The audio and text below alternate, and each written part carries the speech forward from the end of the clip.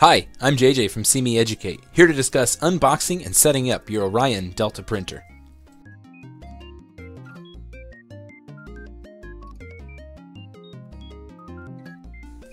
The purpose of this video is to supplement the Orion Delta user manual. As with all technology, you should read the user manual before beginning.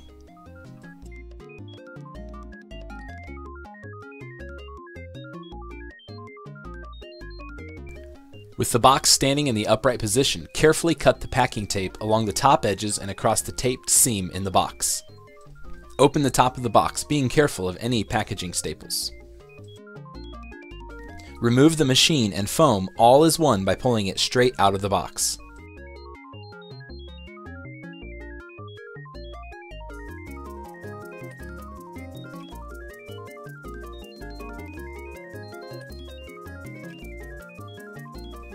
Carefully cut and remove the stretch wrap film that is holding the power and USB cables, Orion control panel, and accessories on the top plate, as well as the stretch wrap holding your filament to the tabletop and glass build surface.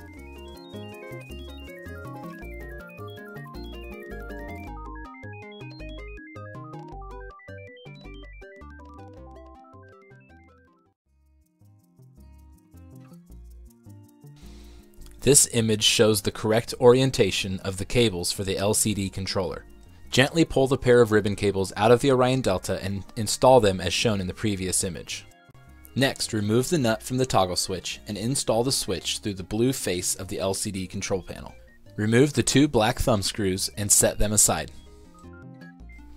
To install the USB cable, pass the end of the USB cable up through the hole in the bottom left of the base and plug it into the USB input on the electronics control board.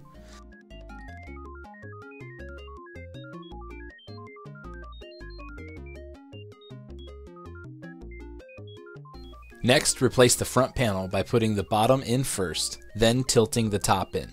Please be careful as this is a tight fit. Replace the two black finger screws until finger tight.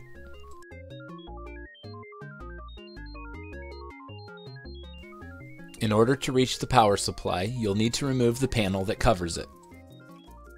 Remove the power cable from the accessories box. The power cable is installed by routing it through the hole in the base of the Orion Delta and plugging it into the socket on the power supply. This is a tight fit, so take your time.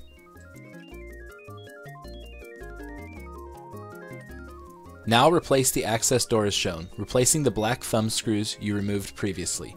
As with the others, tighten them only with your fingers. Holding the two spool holder parts together, install in the spool holder mount as shown. Press down firmly once the hooks on the spool holder are fully inserted into the mounting holes. In order to prevent damage during shipping, the hot end on the Orion Delta is locked in place over the bed by lowering the Delta arms as low as they'll go on each tower. These arms need to be raised in order for the Orion Delta to be used.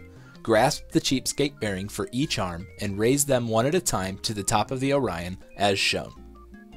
Hang the filament on the spool holder. Ensure the filament is coming off of the top, not the bottom. Next, route the filament through the two filament guides on the back of the printer. To load the filament through the EZStruder, you'll need to depress the red lever with your thumb by pressing up and threading the filament in from the bottom as shown.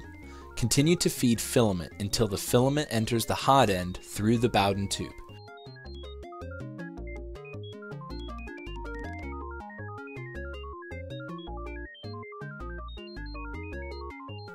Congratulations, your Orion Delta 3D printer is almost ready to print.